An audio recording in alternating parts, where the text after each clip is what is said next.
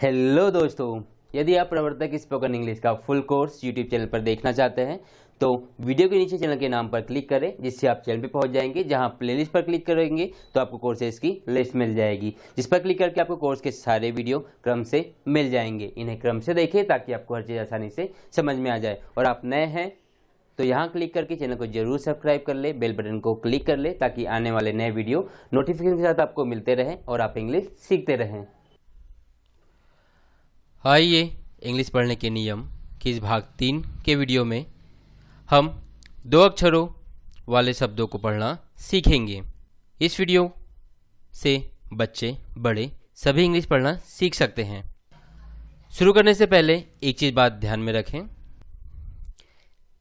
English के शब्दों को हम इंग्लिश के बारह खड़ी के प्रयोग से, जैसा हम हिंदी नामों को लिखने के लिए करते हैं, वैसा हम इंग्लिश के शब्दों को नहीं पढ़ते हैं, बल्कि हम कुछ थोड़ा बहुत इंग्लिश के बारह खड़ी का प्रयोग करते हैं। इंग्लिश के शब्दों को पढ़ने के लिए।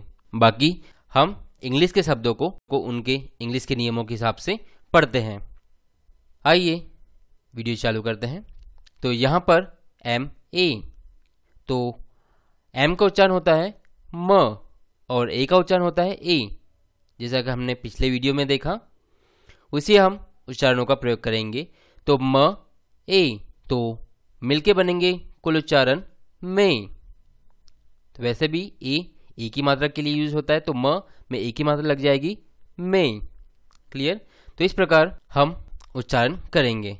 तो पहले मैं बोलूँगा, उसके बाद आप दोहराएँगे। एम ए, में। बोलिए। पी ए पे B A bay S A से।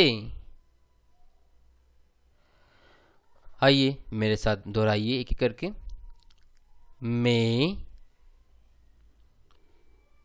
पे बे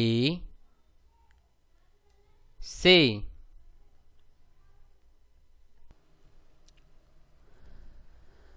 सी का उच्चारण होता है क और ए का उच्चारण ए तो बन गया के। तो बोलिए के, डे, वे,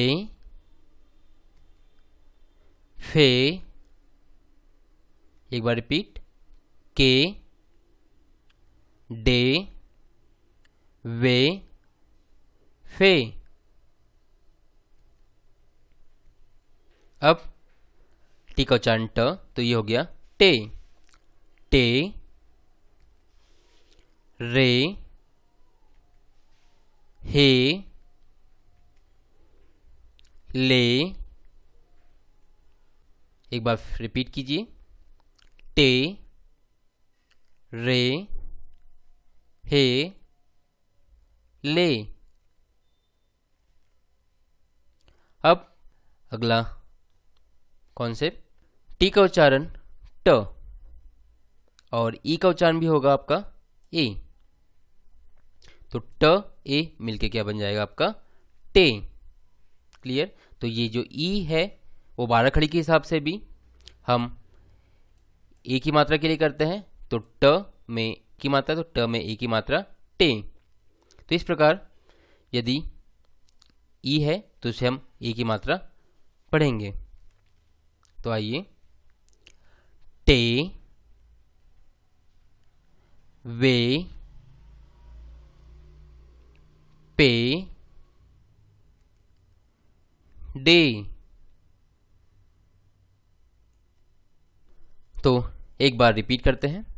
टे, वे, पे, डे। यदि आपको अक्षरों के उच्चारण में दिक्कत आ रही है कि इसका वी का उच्चारण क्या होगा पी का उच्चारण क्या होगा डी का उच्चारण क्या होगा? तो पिछला वीडियो ज़रूर देखें और सभी अक्षरों के उच्चारणों को याद करें।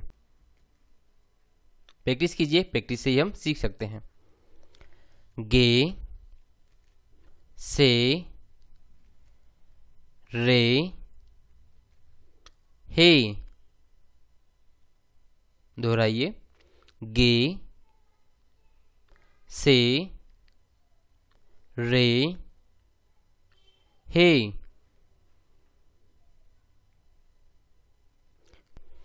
अब अगला नियम, ओ वाले हम शब्दों को देखेंगे। तो सी का उच्चारण होता है क, इंग्लिश के उच्चारण के नियमों के हिसाब से। सी का उच्चारण क, ओ का उच्चारण ओ। तो क, ओ, उच्चारण बन गया को। वैसे भी क में ओ की मात्रा को। और इंग्लिश बारह खड़ी के हिसाब से भी हम ओ का यूज़ ओ की मात्रा के लिए करते हैं। तो सी क्वेश्चन का ओ मतलब ओ की मात्रा तो बन गया आपका को। क्लियर ओ की मात्रा आपको जोड़ देनी है। को, बो, पो, लो। दोहराइए। को बो पो लो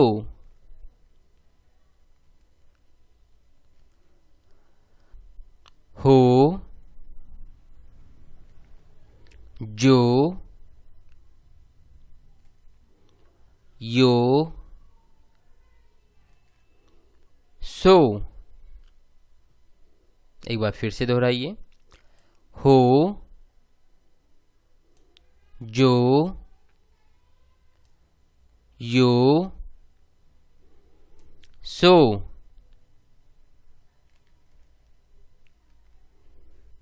अब इसका उच्चारण होगा ओ और एफ़ का उच्चारण होता है फ। तो इसका उच्चारण बनेगा ऑफ़।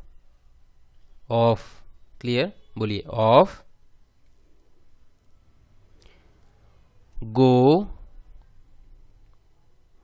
नो, पीएच का उच्चारण होता है आपका, फ, और ओ मतलब ओ की मात्रा, या फ और ओ बन गया, फो। बोलिए, फो, अब, पी आई आई वाले हम देखेंगे, कि आई का उच्चारण कैसे होता है। तो पी का उच्चारण प आई का उच्चारण ई तो प ई तो ई मतलब छोटी ई की मात्रा तो प में छोटी ई की मात्रा बन गया आपका पी तो आई मतलब छोटी ई की मात्रा आपको लगा देनी है। तो बोलिए पी सी ही डी एक बार फिर से रिपीट कीजिए। पी सी ही डी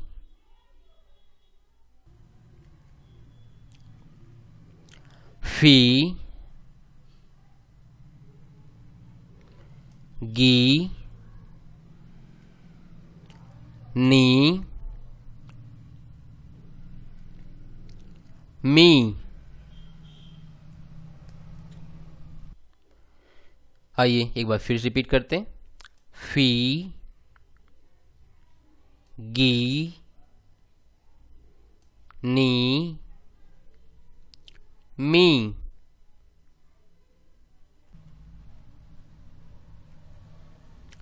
री ली, बी, जी। आइए एक बार फिर से रिपीट करते हैं। री, ली, बी, जी। अब नया नियम। डबल ओ वाले हम शब्द देखेंगे। तो डबल ओ का यूज़ हम हिंदी बार खड़ी में ऊ की मात्रा के लिए करते हैं, बड़ा ऊ की मात्रा के लिए। तो ज जेट का उच्चारण ज। और इसमें लग गई बड़ा ओ की मात्रा तो बन गया जू तो डबल ओ मतलब बड़ा ओ की मात्रा आपको लगा देना है। तो आइए डबल ओ वाले शब्द देखें। जू ऊ डब्ल्यू का उच्चारण होता है व। डब्ल्यू का उच्चारण हम व करते हैं और डबल ओ का ऊ तो बन गया वू। गु, पू। रिपीट कीजिए। जू, वू, गु। पू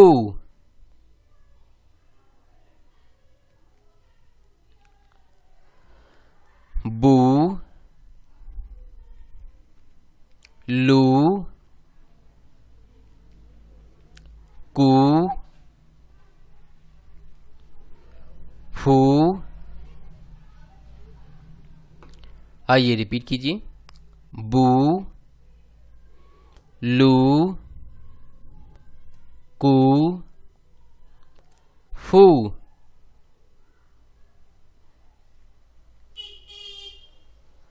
सू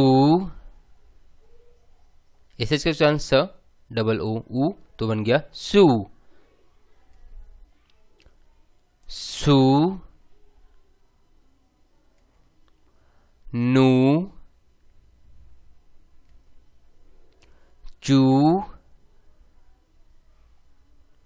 सीज का उच्चारण होता है आपका च डबल ओ बड़ा ऊ मतलब चू रिपीट कीजिए। सू सू नू चू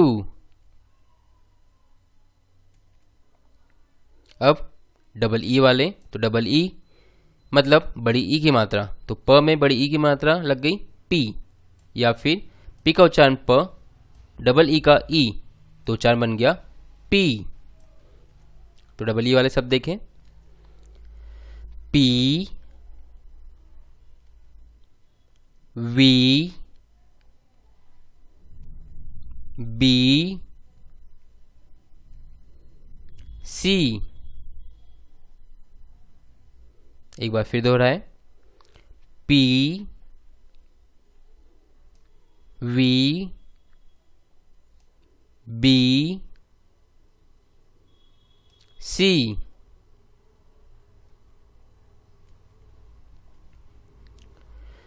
G, fee, me, ची। दोहराइए। जी, फ़ी, मी, ची। याद रखिए, सी, एच का उच्चारण च। अब यू का उच्चारण तो यू का उच्चारण हम इंग्लिश के नियम के हिसाब से यू का उच्चारण क्या होता है? अ। तो एम का उच्चारण म यू का उच्चारण अ। तो म, अ, म ही रहेगा। मतलब म के साथ अ उच्चारण होगा तो म का म ही रहेगा। तो देखिए यू वाले शब्द, म, ह ब क सी का उच्चारण क और यू का उच्चारण अ तो क क्लियर क्या बनेगा? क।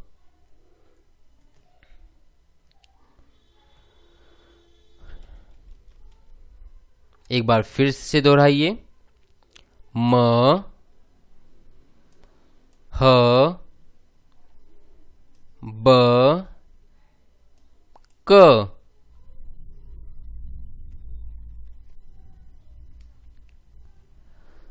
स ड ल न एक बार फिर दोहराइए। स ड ल न। अब एक इंग्लिश पढ़ने के नियम के हिसाब से। एल का उच्चारण आपका ल और ई ए का उच्चारण होगा ई मतलब बड़ी ई की मात्रा। तो ल में बड़ी ई की मात्रा बन गया आपका ली क्लियर एल का उच्चारण ल और ई का उच्चारण ई तो बन गया ली तो आइए पढ़ते हैं। ई ये वाले शब्द। ली टी नी बी एक बार दोहराइए। Lee T knee B.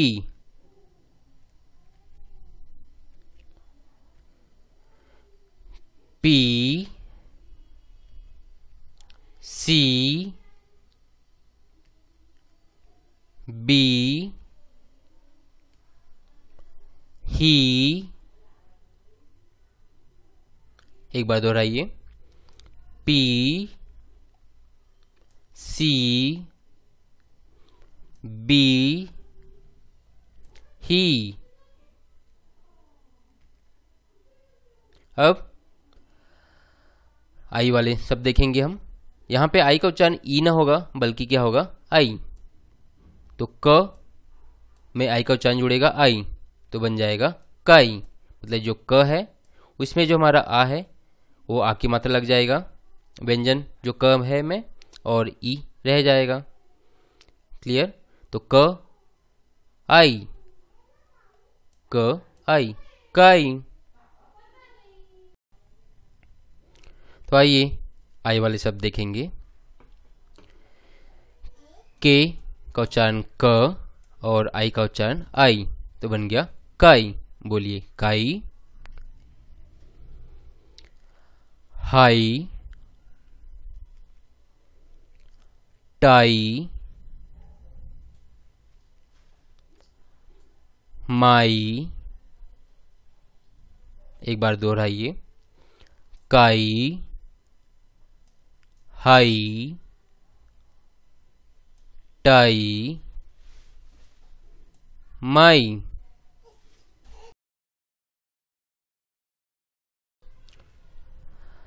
N का उच्चारण न आई का उच्चारण आई बन गया नाई। बोलिए नाई।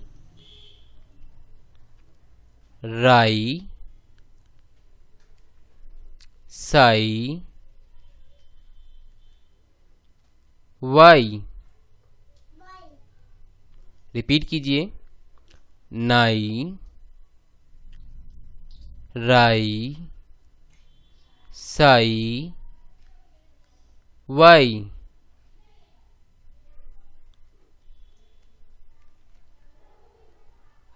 Fie pie bye sigh. एक बार फिर से दोहराइए। Fie, pie, bye, sigh. तो इस वीडियो को दोबारा देखिए। प्रैक्टिस कीजिए, क्योंकि प्रैक्टिस से ही आप इंग्लिश पढ़ना सीख सकते हैं। इस वीडियो में बस इतना ही। अच्छा लगा हो तो लाइक करें। शेयर करें और चैनल को सब्सक्राइब कर लें और बेल बटन को क्लिक कर लें ताकि आने वाले नए वीडियो नोटिफिकेशन के साथ आपको मिलते रहें और आप इंग्लिश सीखते रहें। Thank you for watching this video